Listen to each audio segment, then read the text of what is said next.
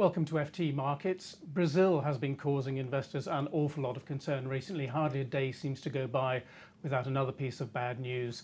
Last week, Standard & Poor's uh, downgraded its outlook. Uh, it's one notch above uh, sub-investment grade. It's been put on negative outlook, which means that at any time, probably in the next year, S&P will downgrade it. If any of the other two major ratings agencies follow suit, Brazil will have lost its very hard won investment grade rating and the outlook, already very bleak, will be getting worse. Uh, I'm discussing this today with John Paul Rathbone, a Latin American editor.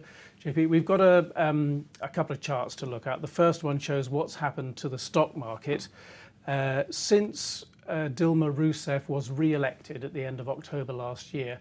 S&P, when it changed its outlook to negative, the first point it made was that the political situation was looking bleak.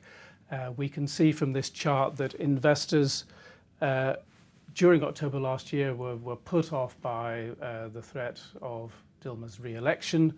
They went on being quite gloomy. Then they cheered up at the beginning of this year with the appointment of Joaquim Levy, the orthodox Chicago economist, to run the finance ministry. But more recently, his measures have been diluted in Congress. This is what particularly worried S&P that he is seen by many investors and analysts as being the right man for the job, but he's not being able to do it uh, because Congress dilutes his cost-cutting measures, his revenue-raising measures, puts in its own adjustments, and we see more of the same kind of pork barrel politics for which Brazil is famous.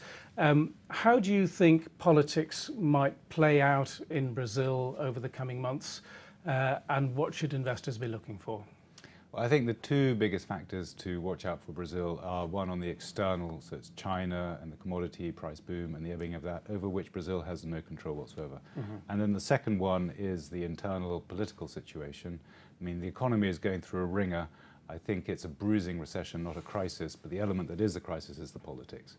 And what will happen there, we don't really know, in fact, because of two factors. One is that the uh, judicial investigation is independent and will take its own course. That's the investigation into the Petrobras into corruption the Petrobras scandal. corruption scandal, which is part of the reason for the disquiet here that you see in the charts. Yeah. And the second reason is we don't know how politicians uh, several of whom will be formally indicted in the weeks to come, how they'll react to that. We've had one reaction, which was the head of the lower Congress, and when he was indicted, uh, Cunha, he immediately said, I'm no longer with the government, yeah. I'm moving to the opposition, and uh, that was just another signal of the troubles that could be to Exactly, and, that, and, he is one of the people who can most upset their, their legislative agenda.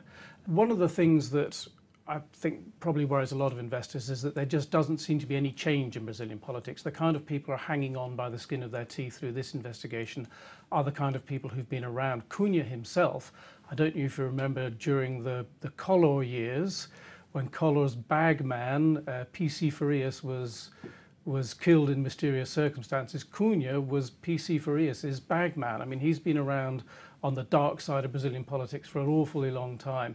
And these people seem to have a lot of staying power. But I think sometimes investors should look on the bright side of Brazilian politics, which is that there are people like Joaquim Levy, there are people like the economics team that put together the Real plan 20 years ago. So it's not that politics is a write-off altogether. There's the good side and there's the dark side, but as you say, we just don't quite know which side is going to come up trumps. Um, let's have a look at our next chart, which shows a much longer term view of what's been happening in Brazil. This is uh, the real, not since it was created under, under the real plan, but since it was allowed to freely float at the end of 99 and there was the, the sharp devaluation, you can see there, vertical drop. And we can see here again the influence of politics, uh, at least partially on Brazil. We see the very steep drop in the value of the real up until 2002 when investors were very worried about the election of Lula uh, as president. He then turned out to be all right. Uh, he then rode the wave of the commodities boom, uh, and then after the crisis, he rode the wave of QE-induced credit, which was so helpful to the growth of Brazil's middle classes. Um, but I wonder what we're really seeing here. Is this investors learning to love uh, a, a, government they thought they would hate? Or is this Brazil riding factors that are outside its control? And again, you say we've got China and domestic politics playing off against each other. How is that going to, well, how is it going to play out next? What are the forces that are within Brazil's control that it can do something about and the ones that it, that it can't change?